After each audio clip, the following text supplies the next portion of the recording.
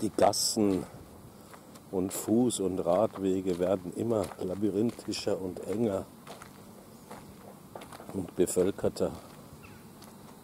Vielleicht, wenn ich es schaffe,